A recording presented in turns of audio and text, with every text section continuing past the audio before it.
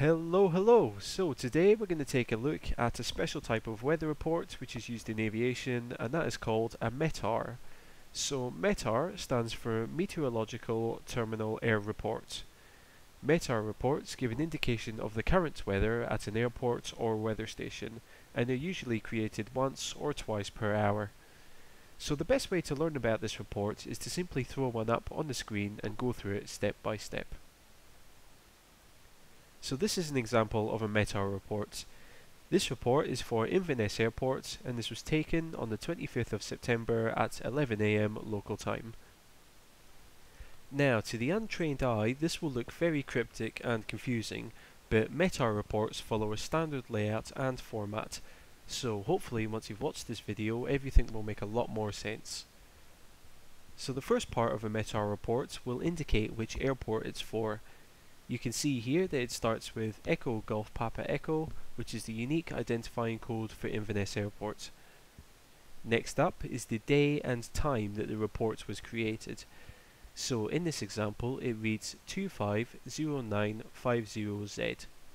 So the 25 stands for the 25th day of the month. In this case it was the 25th of September. And then the 0950Z stands for 9.50 am Zulu time. So Zulu time is the same as Universal Coordinated Time or Greenwich Meridian Time. It is a reference time by which all other times across the world are calculated.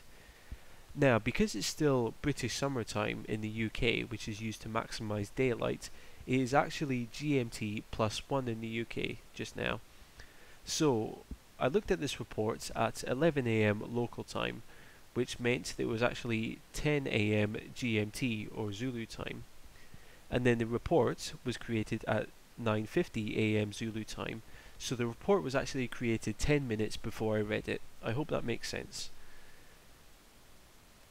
The next section represents wind measurements.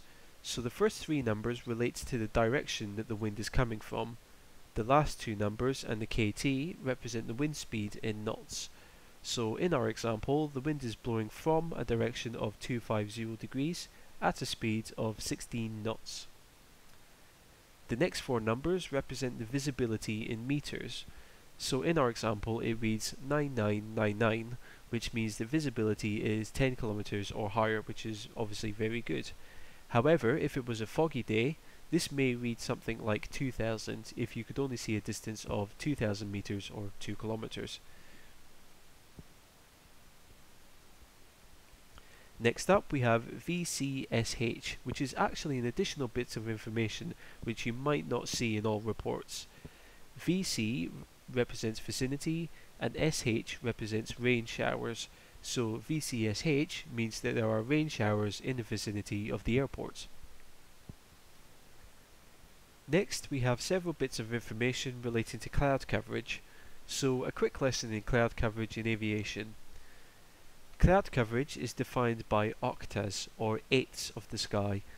Now, if one or two octas of sky are covered, this is known as few clouds. Three and four octas are known as scattered clouds.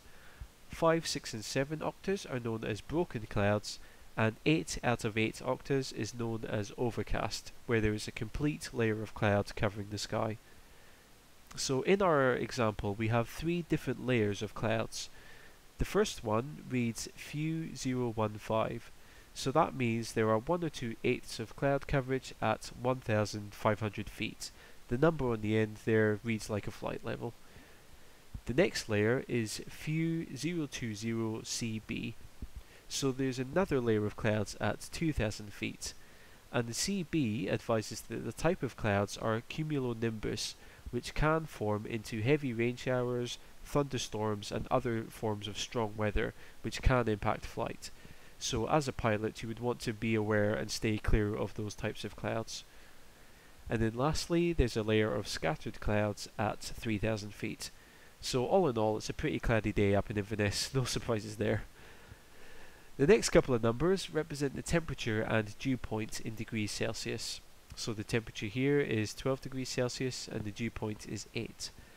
Sometimes you may see an M in front of the number, which indicates that the temperature is minus whatever the number may be. And then finally, on the end, you have the barometric pressure. So in this case, it gives the QNH, which is 1015 millibars. So let's look at another report quickly to get a bit more familiar with them. So here's another example taken in September again, and hopefully if I've explained things well, you should be able to recognise about two-thirds of this report. But I'll give you a few seconds just now to try and read it and try and decode it.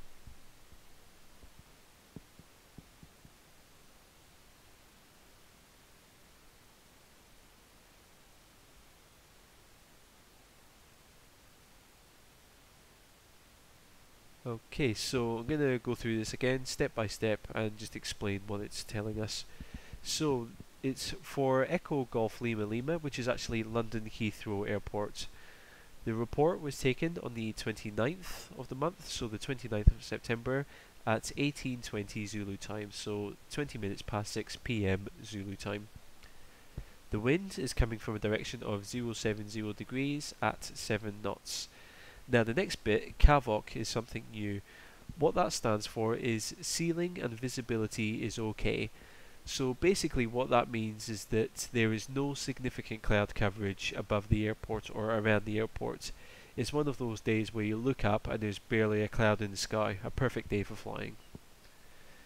Next we have the temperatures. So the temperature was 15 degrees Celsius and the dew point was 8 degrees Celsius. Your QNH was 1034 millibars, and then finally you have a new bit of information again, which is no SIG, which basically means that there are no significant changes expected to the weather. So there's a couple of relatively simple METAR reports. Um, they can become very complex and have lots of little bits of additional information. So if you want to see a list of all of the abbreviations that can form a METAR report, you can click on the annotation on the screen or in the link in the description to read those.